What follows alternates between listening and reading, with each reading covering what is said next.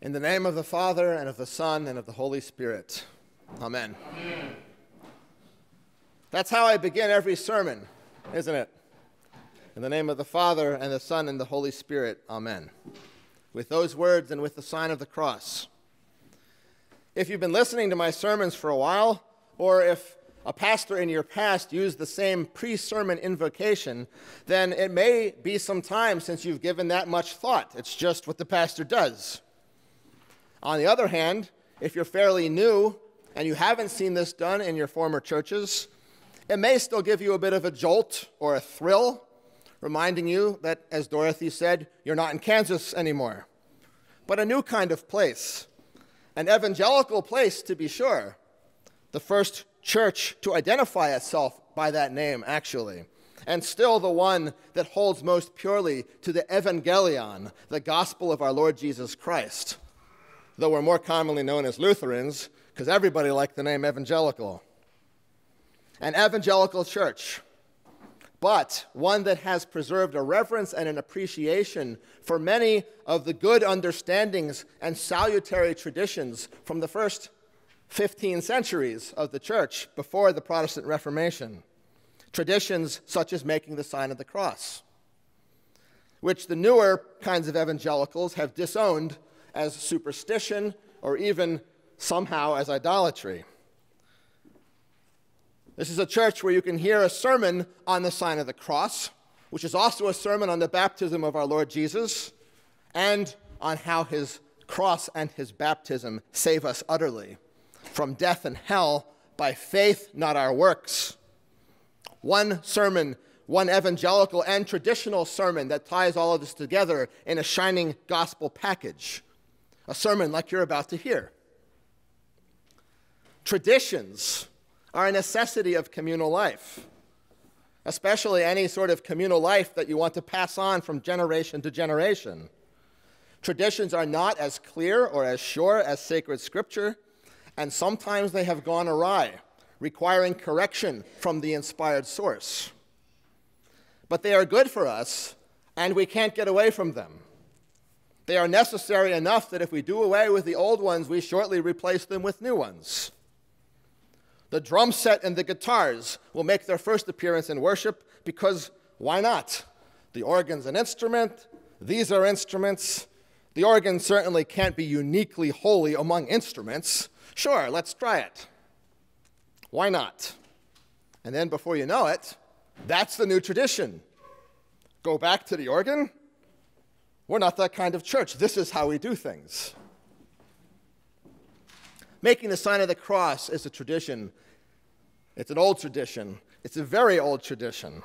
According to the ancient historians, the last great Roman persecution of the church began in AD 303 when the Emperor Diocletian had diviners who were performing an augury for him, scanning chicken entrails in order to discover something about the future, something he meant to base a policy on, and the augury didn't work. They didn't get a readable result. And the diviners blamed it on some Christians who had been nearby making the sign of the cross at the time when they were invoking the gods. The Christians had done this to invoke Christ's protection against the demons that they figured would be present at such an augury. And this was the last straw for the pagan emperor.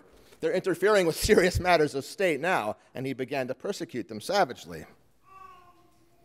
That's 303. And we have evidence that it was well established, at least in some places, more than a century before that.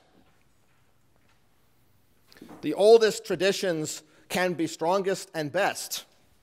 There's a reason why they have survived in constant usage. But it's still not Scripture. So we ask, what's it for? What does it mean? And maybe doesn't that story about the diviners and the Christians suggest that even that early, it was a superstitious practice, that they were making it in order to be protected from the presence of demons? They thought somehow this sign would protect them, like a charm or a counterspell. Well, anything can be used in a superstitious way. The Lord's Prayer can be used in a superstitious way. The bread and wine from the Lord's Supper can be used in a superstitious way. The name of Jesus can be. In the book of Acts, Unbelieving exorcists used the name of Jesus to attempt to cast out demons to their harm. And the Israelites once used the Ark of the Covenant as a battle standard, thinking it would win them victory, and the opposite happened. The sign of the cross has no doubt been abused, but that it has been abused is evidence for nothing more than centuries and centuries worth of men and women and children who have held it dear. Nor should we assume that the Christians in that story from 303 were using it superstitiously. Maybe demons were present, responding to the invocation of the pagan gods, and maybe they weren't. But if you thought demons were near, you would probably pray for protection too. And that's what the sign of the cross is. Or rather, that's one of the two things that it is it is a prayer and it is a confession. And it is anchored in the baptism of our Lord Jesus Christ that we commemorate today. Now, when all the people were baptized, and when Jesus also had been baptized and was praying, the heavens were opened, and the Holy Spirit descended on him in bodily form like a dove, and a voice came from heaven You are my beloved Son. With you I am well pleased.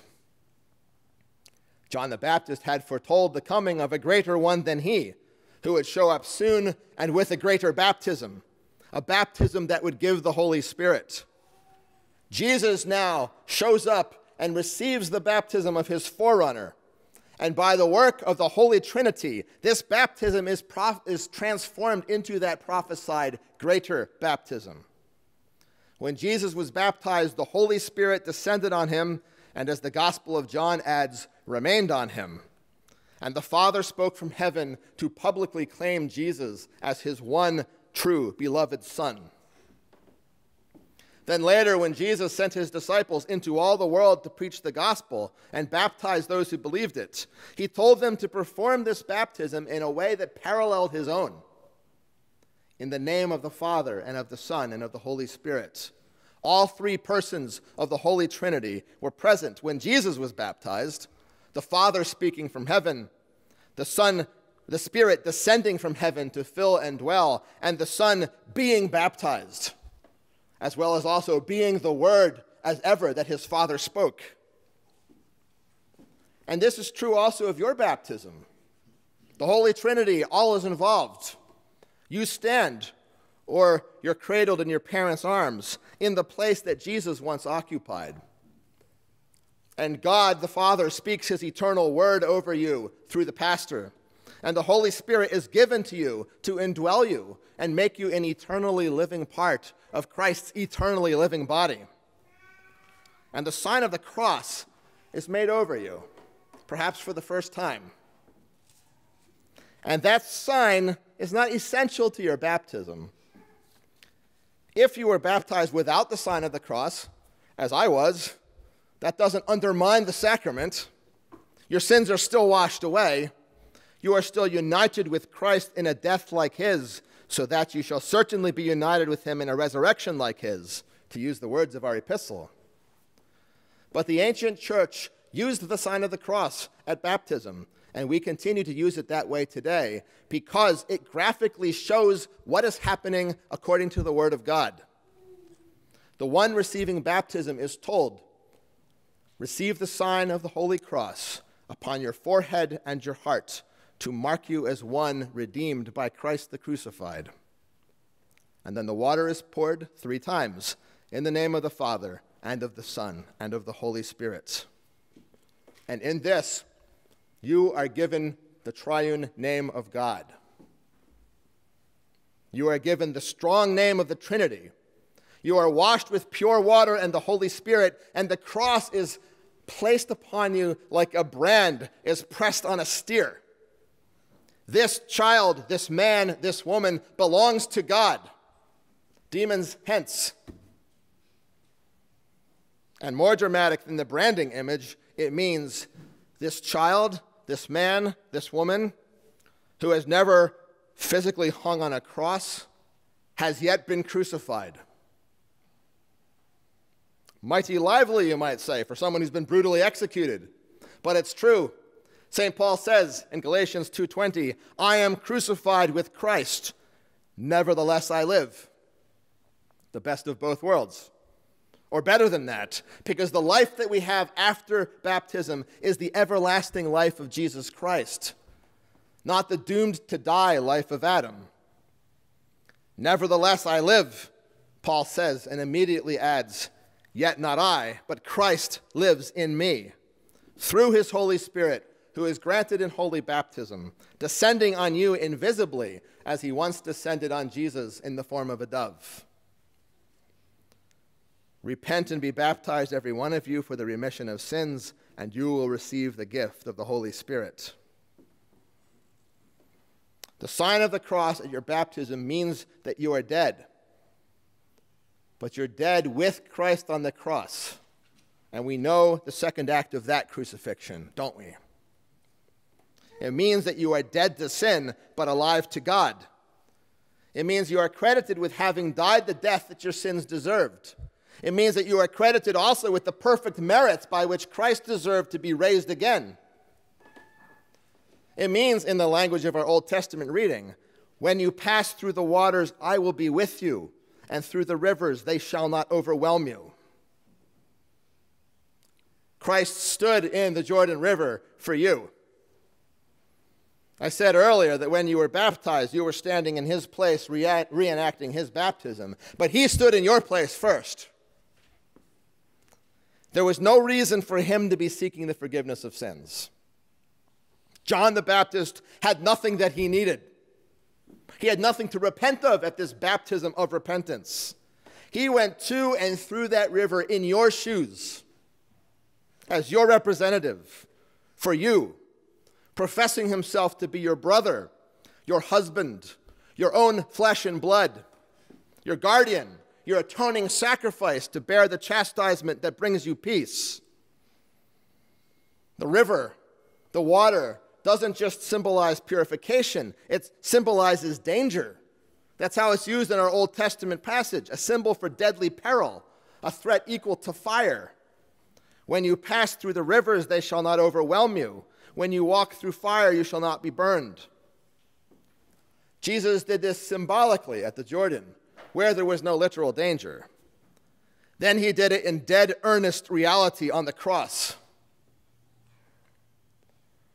So you receive the sign of the Holy Cross when you are baptized to make that connection as clear as a ritual can make it. He was baptized and crucified for you. You are crucified and baptized with him. When you pass through the waters, when you walk through fire, he will be with you. He's already with you. When you die, He will be with you. You won't die alone. You will die with Christ. You will be laid in His tomb.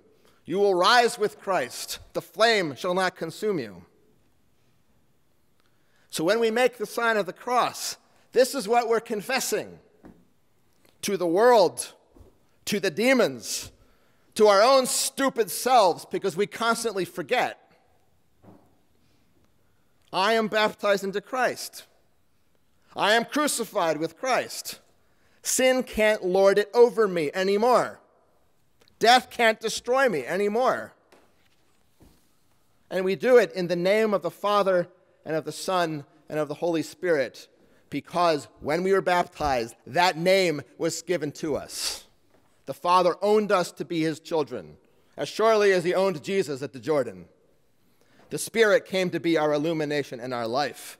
The Son's flesh and righteousness and death and life became our own. And I said it was also a prayer, a prayer based on that confession, a prayer like it was for those Christians at the emperor's court. As addressed to the world and to ourselves, it's a confession as addressed to God, who is our Father through that baptism and the work of Christ. It's a prayer. Lord, I believe in your Christ and his cross. I believe that my many sins have been covered by his blood and washed away by water and the word. The cross is my armor. I stretch it over my head and over my vital organs. I am crucified with Christ. I can't get any deader. Nevertheless, I live. and I'll live forever. The prayer is Fulfill all these promises to me, Lord. I believe your word. Deliver me from evil. Whether that evil is demons or human persecutors or false friends who will lead us away from Christ, or fire or water or strokes or cancer or auto accidents or our own doubts and shameful lusts and selfish pride. Lord, I believe in you. World, I believe in Jesus. Dull, rebellious flesh, you have been redeemed, and you have the Spirit of God living within you. So cut it out. And Lord, show up for me, as I know you will. Be my God, my provider, my protector, and my great reward. You have redeemed me. You have called me by name. I am yours as surely as Jesus was yours, although he was yours eternally. I am, by your word, your beloved Son. With me, you are well pleased. In the name of Jesus, amen. amen.